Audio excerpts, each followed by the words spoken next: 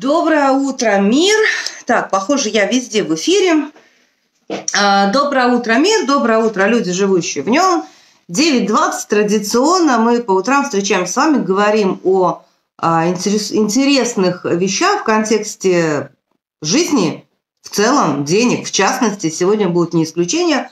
Август у нас объявлен месяцем денег, поэтому будем рассматривать эту тему вдоль поперек и по диагонали. Не очень знаю, что здесь за ссылка мне была отправлена, но это меня на самом деле не очень интересует.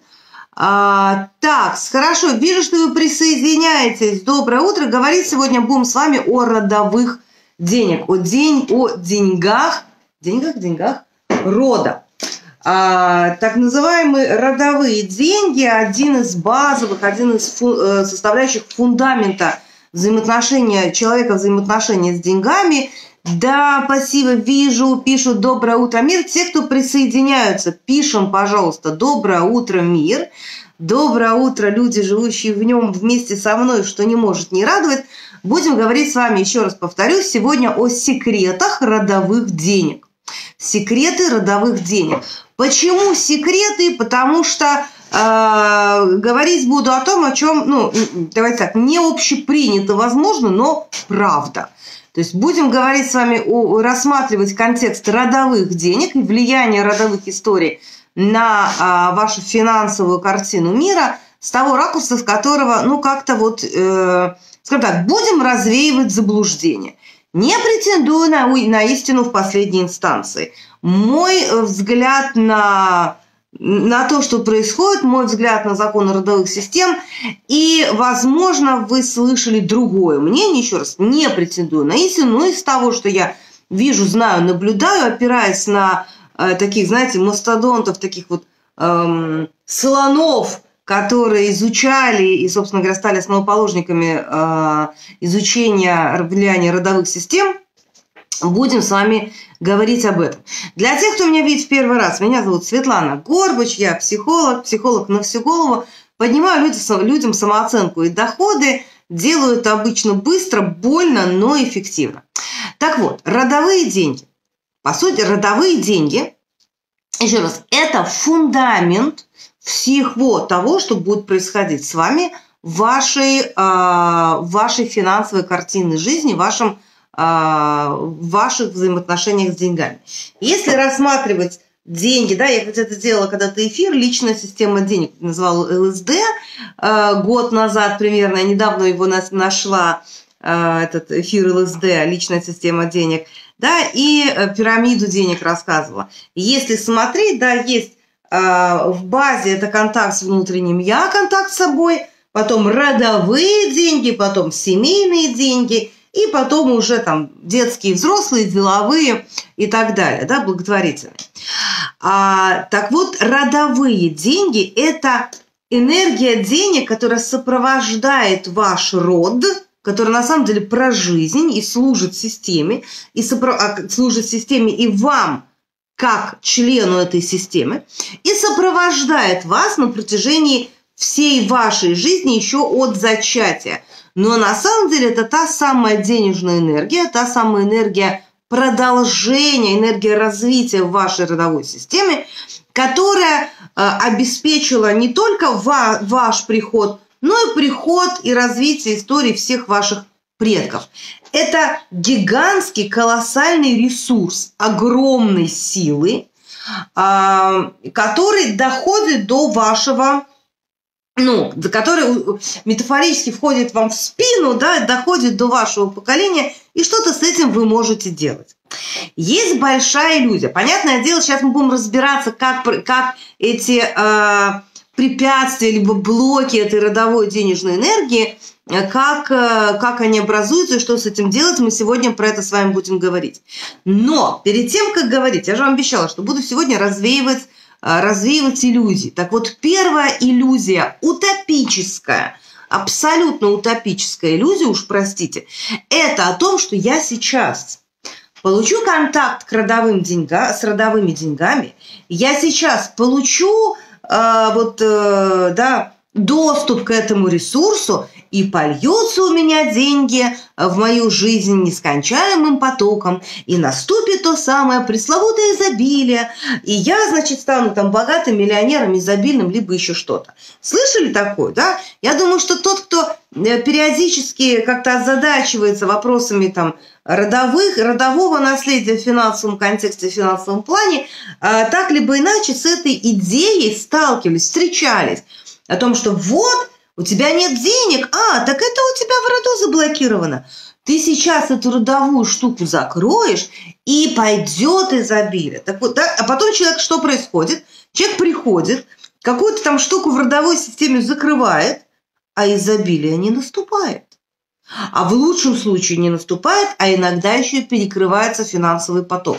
Встречались? Напишите, пожалуйста, тот, кто встречался с вот этой ловушкой, когда вроде бы пошел расстановку сделал – и вроде бы пошел там с родом как-то поработал, значит, что-то там закрыл в своей родовой системе, какую-то, не знаю, травму, какую-то историю. И ожидая, что должен пойти сейчас финансовый поток, а финансовый поток не идет. Либо вообще, либо просто не увеличился в самом лучшем случае, серия не сработала, либо перекрылся. Да? И это вот такая такая занятная штука, сейчас, сейчас э, разберем, про что это. А, такая занятная штука, когда, ну, когда человек встречается в том, что это была иллюзия. Про что это? Первый пункт. Первый пункт.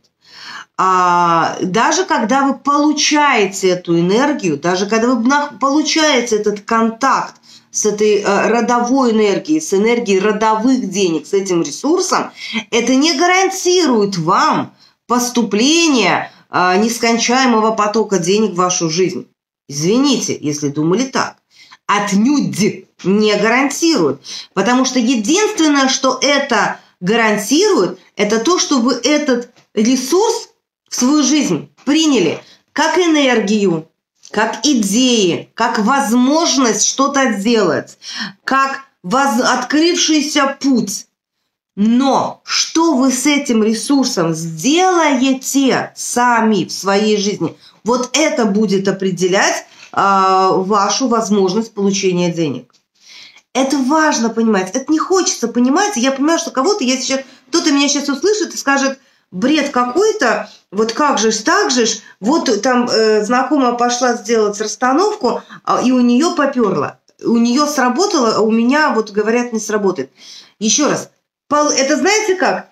А, вы пришли и получили доступ к контейнеру, э, не знаю, контейнер, да, там большой э, водоем, огромный водоем. Вот вы получили доступ к огромному водоему. Что вы сделаете с этим водоемом потом будет зависеть от вас. Вы этим водоемом начнете продавать воду монетизировать его. Вы начнете пить сами не продавая его. Вы сделаете у этого водоема а, курортную зону, вы сделаете у этого водоема благотворительный центр. Вы. Понимаете? Вот то, что вы сделаете с вот этим вот ресурсом, вот это будет определять, будут деньги либо нет. Это один момент. Второй момент. Вот тут мне прям хочется, э, ну, хочется акцентировать внимание. Собственно говоря, в Кэса, вот тот, кто играл э, в Кэсов, есть задание, да, мы вначале разблокируем доступ к этой энергии, там есть целых два, иногда третье захватывается – Э, задания больших по неделе примерно мы работаем с этим, когда мы распаковываем, разблокируем э, доступ к родовым деньгам, к энергии родовых денег. И потом, и потом в последних заданиях есть задание моделирования, по сути, куда потом эта энергия разблокирована будет направлена – таким образом, чтобы она деньги приносила. То есть просто получить доступ к энергии денег, увы, ах, этого недостаточно. Впоследствии нужно смоделировать, смоделировать, куда будет направлено, как будет этот ресурс использоваться для того, чтобы э, эти деньги, да, этот ресурс монетизировать, что называется. В родовой системе не было долларов. В родовой системе были рубли, э, серебро, золото, слит, слитки. да, как энергия. Вы это берете, как вы потом взаимодействуете с этим, как вы распоряжаетесь этим потом, вот это определяет результат. Поэтому в кэсов эта штука соединена. В начале распаковка а, этой энергии, потом моделирование, куда ее направить. Сейчас читаю комментарии.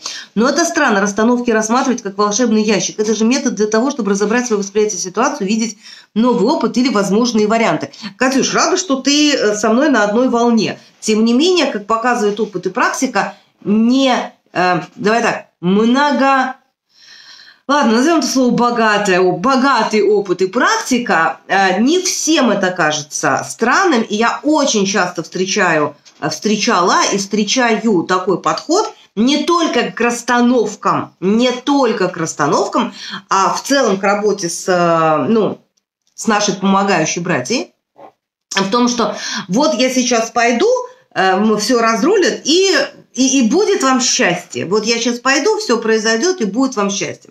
А если в роду особого достатка не было, так что монетизировать? Спасибо за вопрос, сейчас это будет, сейчас объясню.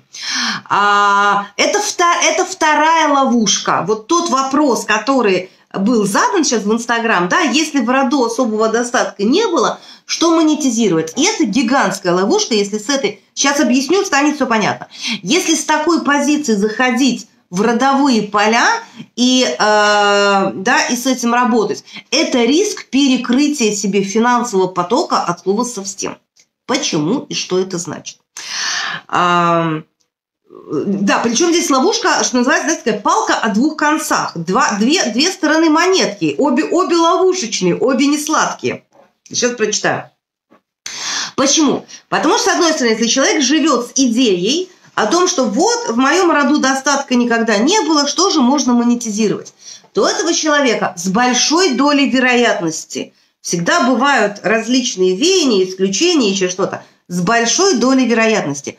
У этого человека есть идея о том, что ну, мне как бы да, по судьбе было не дано нежели богато в моем роду как-то выживали, богатых в моем роду не было, откуда же мне тогда взять ресурс? И тогда человек попадает, это первая ловушка, сейчас аккуратно все прочитаю. Это первая ловушка, в которую попадает человек с идеей, что тогда у него ресурс брать ему неоткуда. Первая ловушка. Вторая, в смысле, первая, знаете, первая грань ловушки. Вторая грань ловушки. Человек смотрит на э, своих предков с пози, э, как на а, ну, как на неуспешных. Как на неуспешных. И вот это сейчас слушайте, пожалуйста, внимательно. Это то, на чем я в Кэсов очень акцентирую внимание. В, этом, в этот раз в этом потоке будет дополнительное задание для того, чтобы ну, докрутить, для того, чтобы сработало еще сильнее. А, есть такая идея о том, что есть успешные рода и неуспешные, бедные роды, да, либо вот как э, особого достатка не было. И тогда в этом особого достатка не было, есть такой флер, не флер, да, есть такой, ну как будто бы особо успешных, сильных в моем роду, ну как бы не было, мне неоткуда этот ресурс брать, я тогда тоже не очень сильный, ну в кого же мне удастся, да, если сильных не было. Идет обесценивание силы предков. Обесценивание силы предков – это обесценивание ресурса. И за обесценивание, если зайти в родовую систему и зайти в расстановку, я такое наблюдала, э, наблюдала, не суть важно. Да, когда заходят в работу, в расстановку, я сейчас говорю даже не только расстановку, ну, да, обычную классическую расстановку, расстановку на картах, расстановку э, ну, в визуализации, есть разные контексты. Так вот, если заходят в поле с этой идеей, она еще, знаете, чем отображает, чем она может, э, э, в чем она может проявляться? Как зайти и помочь предкам зайти и закрыть какую-то историю, и э, снять что-то, какой-то груз снять с предков. Да, вот эти вот контексты, за это можно больно получить по голове. Потому что в этом очень много а, неосознанного, просто потому что никто ну, не рассказал, извините, не научил, и есть, ну, и есть предпосылки, да, а, обесценивание мощи и силы предков. А теперь посмотрите – что на самом деле, на самом деле, что есть в ваших родах, в ваших родовых системах. Есть э, предки, обладающие стратегиями, которые приводили к деньгам, и это то, что вы называете успешными. Услышьте, это важно, это критично важно. Есть предки, которые обладали жизненными стратегиями, пользовались жизненными стратегиями, которые приводили к деньгам. Это то, что вы называете успешным. А есть предки, у которых, которые не пользовались стратегиями, которые приводили к деньгам, но их стратегии приводили к сохранению и продолжению жизни. Их стратегии приводили к сохранению и продолжению жизни. Но там было очень много боли. И большинство потомков – смотрят на боль предков, идентифицируются с болью предков, идентифицируются с их тяжелыми историями, влетают в спасательство сознательно либо бессознательно чаще всего, влетают в спасательство в векторе, в направлении предков, обесценивая, что при всем том трендице, который человек, предок в том периоде, в своей эпохе прожил – он выжил и передал жизнь. Вы масштаб ресурса, которыми человек обладал, можете себе представить? Понимаете, что происходит? Вот секрет родовых денег в том, чтобы научиться один из э, научиться принимать, не оборвать э, связь, не, я не хочу бы ничего иметь общего с этими голодранцами. Извините, это цитата одного из клиентов, с которым потом была крутая работа, из которого, у которого потом были крутые результаты. Не, не хочу иметь ничего общего. Не, в моем роду столько боли, я не хочу туда даже смотреть. Нет, а вот в этой боли не э, идентифицироваться с болью, а уважать, идентифицироваться с той силой, благодаря которой, несмотря на весь тот ужас, который происходил, человек выжил и, жи- и передал жизнь вам. Вот этот вот два момента, которые, а, с которыми мы работаем в КЭСов. Сейчас, э, перед тем, как продолжить, прочитаю ваши комментарии. Так, если человек знает, что в роду одна голь э, перекатная – это ограничивающее убеждение, или все-таки нужно идти и делать? Я думаю, что я только что на это отвечала. Если вы считаете, что в вашем роду голь перекатная, посмотрите, пожалуйста, на то, э, какие какие ресурсы там были, какая сила там была, что несмотря на то, что голь перекатная, жизнь продолжилась за обесценивание предков народ очень больно получается по голове. Так, даже никогда не задумывался о родовых деньгах, и их деньги – это их, а мои – это мои. А вот это вот сильно неправда, и это отделение, а, оби, обделение, правильное слово, обделение себя из гордыни. Сори, да, ну обещала, сегодня будет жестко. Хотя, когда было проще. Ой, а я кролика вижу. Да, он там живет. А я кролика вижу. Да-да, услышала. Смотрите, это важно. Это очень важно. То, что вы называете голь перекатная. Те тяжелые истории, которые прожили наши предки в Голодоморе, хороня своих детей, э, выживая при раскулачивании, в ссылках, да, в, господи, как, в эвакуациях, проходя войну, проходя голод, когда одного ребенка убивали, чтобы накормить, сварить и накормить других. Это все то, что проявляется в историях и в расстановках. И большинство Иди за белым кроликом. Ага. Белый кролик получит доступ, доступ к свободе где-то минут через 20-19. Я не успела перед эфиром его отпустить открыть. А когда вы смотрите на это, вы попадаете в жесточайшую ловушку.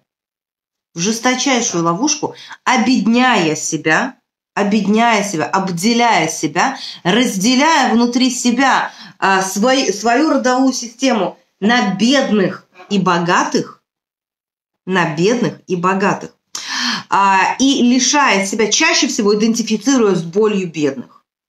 Теперь, это не отменяет... Сейчас, секунду, очень хочу попить воды.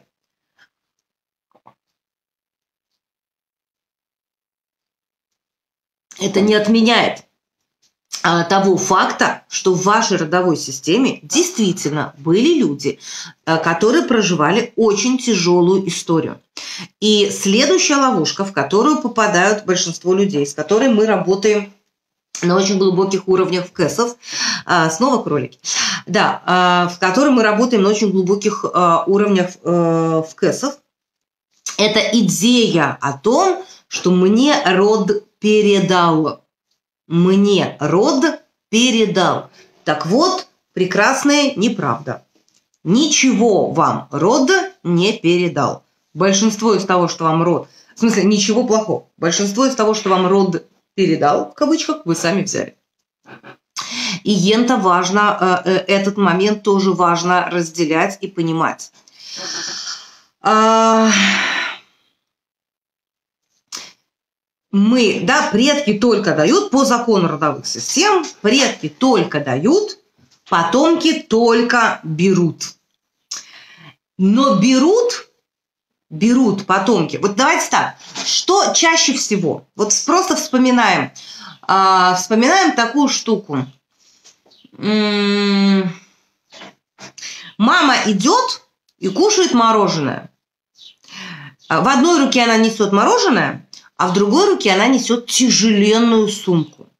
И рядом с ней топает топотышка, э, не знаю, там, трех, пяти, семи лет. Ну, после восьми там уже по-другому, уже, уже, уже, в принципе, последствия всего того, что происходило в 3, 5, 7, да? Ну, вот идет рядом с ней топотышка в 3, 5, 7 лет. А, и у него тоже есть мороженое. Ну, мама ему тоже купила. И вот идет ребятенок, в большинстве случаев, вспоминайте себя, Рядом с вами идет ваша мама с тяжеленной сумкой. Что вы у нее попросите? Что вы у нее возьмете? Мороженое или тяжеленную сумку? Большинство. Ну, я не говорю все, отнюдь. Я не говорю все. Но большинство возьмут тяжеленную сумку. Либо скажут, мам, да, я тебе помогу. Я сейчас не говорю, что это плохо. Услышьте, я сейчас не перевожу в детско-родительские отношения. А, я сейчас э, просто показываю, как работает механизм импульса. Механизм импульса работает на боль. Ну, мы так устроены. Да? У нас одна голова, две руки, две ноги у большинства. Да, сумку, конечно, сумку. Механизм импульса будет взять тяжелое у старшего. Взять тяжелое у старшего. И на этом же самом механизме Понятно, что если мама специально приучала ребенка не брать у нее, то, что я большая, сама справлюсь. Я сейчас не говорю про, про хорошо, про плохо. Я пока только механизм показываю. С мамой там, может быть, имеет э, механизм импульса работает на боль. Абсолютно верно. Да, механизм импульса работает на боль. Мы так устроены. Ну вот так, потому что.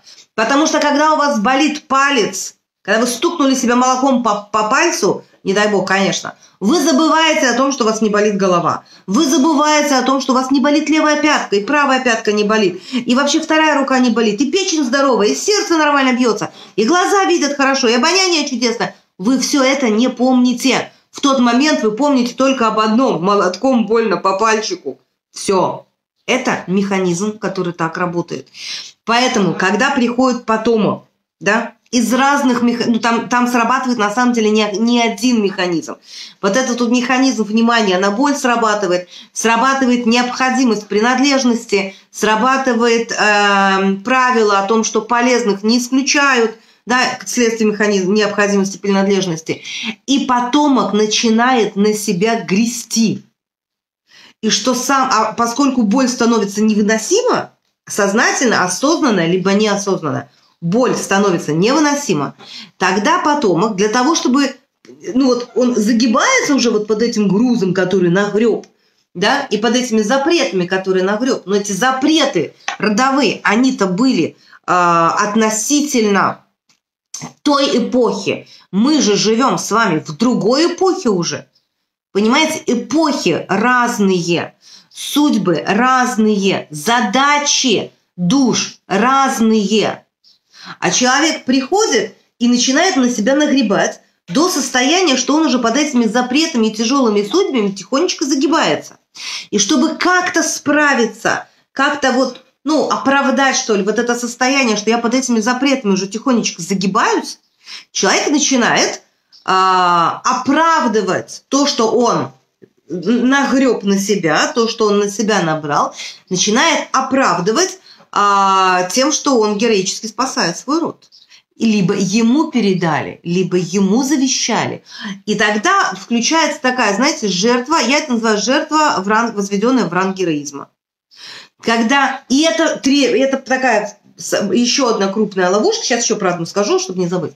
А, да, еще одна крупная ловушка, которая мешает себя это снять. Потому что, чтобы снять это с себя, приходится признать, что мне никто не давал, что я сам на себя нагреб, что я, ну, никто мне не должен, снять с себя корону и сказать, я не справляюсь. Вот чтобы снять с себя вот это вот тяжелое рода, то, что человек на себя нагребает, приходится признать, что я не справляюсь. Я маленький. И приходится слезть с пьедестала героя, съесть, слезть с того, кто там а, отмаливает рот, либо мне как-то задавали вопрос, а может ли быть такое, у меня волосы шевелились, а, честно говоря, прям э, как у Медузы Гаргоны, а, может ли быть такое, что девочка старшая рода, в смысле, что значит, ну, типа, старейшина рода, старшая рода. Что значит старшая рода? Что значит старейшая рода? Ну, нет. Ну вот, э, значит, ей там э, где-то рассказали о том, что она, ее миссия отмолить весь род, э, она старшая рода, она потомок! Она маленькая относительно тех, тех старших предков. И тогда, да, это прекрасный, прекрасный инструмент отказаться от своей собственной жизни, прикрывшись тем, что я потомок я э, старейшина рода, прикрывшись тем, что я отмаливаю весь род. Понимаете? У меня был такой, да, хранительница, вот, ну не ты справ, это не от себя был вопрос, я хорошо помню, от кого был вопрос и, и что там была за история. Да, хранительница рода и сестер. И это чудесный, на самом деле, способ, извините, если сейчас кого-то задену, чудесный способ не брать на себя ответственность за свою жизнь. Так вот, замечательный способ не брать на себя ответственность за свою жизнь – это взять ответственность за предка. Инструмент отказаться от собственной жизни. Абсолютно верно. Абсолютно. Это инструмент отказаться, это трусость. Это нехватка ресурса. Извините, что жестко. Ну, правда, иногда я бываю жесткой. Потому что это инструмент отказаться от собственной жизни. И прикрыться тем, что я хранительница рода и сестер. Ну, извините. Если ты хранительница рода и сестер, и в твоей жизни все шикарно и прекрасно, то замечательно, продолжай жать. Ну, продолжай, ну ты хранительница своего рода вперед. И только тогда ты исполняешь э, задачи рода. А можно благодарить род, читая за них молитвы. Благодарить, да, конечно. Единственное, что единственное, что могут потомки относительно рода, это благодарить. И здесь важно один, один простой момент. Если вы э, благодарите и читаете молитву из благодарности, благодарности, а не я сейчас для вас вот молитвы отчитаю, и вам там станет проще. Да какой же вам там станет проще? Люди, вы это мертвые. Энергоинформационная структура живет, память живет, в системе живет, но сам человек свою судьбу прожил. Понимаете, он прожил свою судьбу. И пошел э, дальше, не знаю, там, жизнь между жизнями, между воплощениями, э, может, уже в следующем воплощении, смотря насколько далеко это происходило. И просить помощи от рода за своих братьев и себя. Просить помощи от родов для себя, конечно, да. Братья здесь при чем? Ну, такое.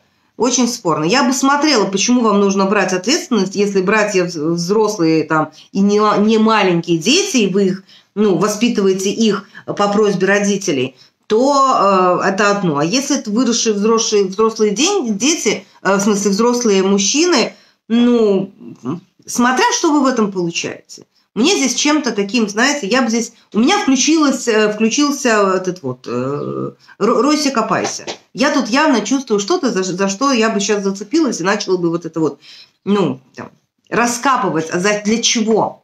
Да, что такого вы получаете, если вам э, есть необходимость просить у рода помощи для братьев? Ну, я бы поискала. И почему тогда вам кажется, что братья, может быть, немощные, не могут сами попросить помощи? Почему они нуждаются в этой помощи? Ну, в общем, мне здесь нужно, мне здесь не нужно, потому что нет к этому запроса, да, но у меня вот эта вот э, какая-то штука здесь включилась. Блин, да такое мне сказали однажды, что я должна вести весь род матери, до сих пор не понимаю. Да не надо понимать ни, ни, ни, никому, вот кто должен, тут ведет. Что значит вести весь род мать? Нет. Вы должны жить свою жизнь. Если вы живете свою жизнь счастливо, ваши потомки могут быть, получать, ну, могут быть счастливые. Понимаете? Вы, потому что если вы живете свой род счастливо, ваши дети видят и учатся счастью об вас. Бульдожка у тебя включилась. Да, Вера, бульдожка у меня включилась. Правильно. Ну, согласись, что здесь я, что у тебя, похоже, тоже бульдожка включилась. Вера просто тоже ведущая КСов ведущая и единственный обучающий тренер КСов грани денег. Поэтому, потому что там, там прям, прям копай, копай, копай. Там прям вкусненьким пахнет. Угу. Дальше, следующий, следующий пункт, который, э, в который падают люди – да, в которые ловушки, которые э, такие ловушки, секреты родовых систем, если не знать которые и влезать туда, то можно, ну, по меньшей мере, там, да, вот, по меньшей мере получить по голове за это, да. А, и это, то, это как раз те темы, которые мы глубоко разруливаем на КЭС в грани денег. Круто, посмотрю в этом направлении, благодарю. Братья сами справляются взрослые. За себя, за себя, да. И опять же, смотря, что вы просите за себя. Вот тут тоже такая, такая, такая штука, помните, с которой я начинала. Ольга, простите, что я на вас, э, ну, на вас привожу примеры, просто вы пишете комментарии, я на это реагирую. Да? Смотря что вы будете просить для себя. Для себя что мы можем получать от рода? Что мы можем, давайте так, что мы на самом деле, потомки, получают от рода? Что вообще такое э, деньги рода? Давайте с этого, ну, хотела сказать, начнем, но нет, ближе к концу уже. Что это такое? Что такое на самом деле родовые деньги? Благословение. Что такое благословение? Не, что, это, что это технически, что это такое. Жизнь, конечно, понимаете, жизнь, ресурс, что такое ресурс? Жизнь, энергия жизни. Это та энергия, когда у меня есть силы жить. Слово ресурс – это энергия жизни. Энергия, когда у меня есть силы жить. Деньги приходят, ну, приходят, не так, деньги делаются из энергии жизни, энергии обмена. Вспоминаем, что такое деньги – Деньги – это энергия обмена. У меня здесь э, основа, ресурс – это слова, ну, очень близкие, но не, ну, не полностью отображающие суть. Да? Энер... Что такое энергия денег? Это энергия обмена. У меня здесь была энергия жизни, и я из своей жизненной энергии что-то создал. И здесь у человека была жизненная энергия, что-то он создал. И на встрече двух этих жизненных энергий, воплощенных в продукт, товар либо услугу, произошла энергия обмена. Да, и вот эта энергия обмена, это и есть энергия жизни. Так вот, то, что мы можем брать у рода, вот эти родовые деньги, родовые деньги – это стратегия. Да, вот когда, э, помните, я говорила, есть стратегии, приводящие к деньгам. Так это просто стратегия взаимодействия с жизненной энергией, стратегия монетизации жизненной энергии. А есть предки, которые, которые не монетизировали жизненную энергию, а передали ее в чистом, да, вот в чистом, ее хватило, чтобы жизнь передать, несмотря на ужасы, которые они проходили. Так вот, мы можем просить у рода благословения, там еще что-то. В, в том контексте это важно понимать, что родовые деньги – это получение энергии движения в денег, энергии жизни. Вот это тот ресурс, который вы на самом деле от рода получается. И вернуть назад может только благодарность в контексте спасибо за жизнь. Это все.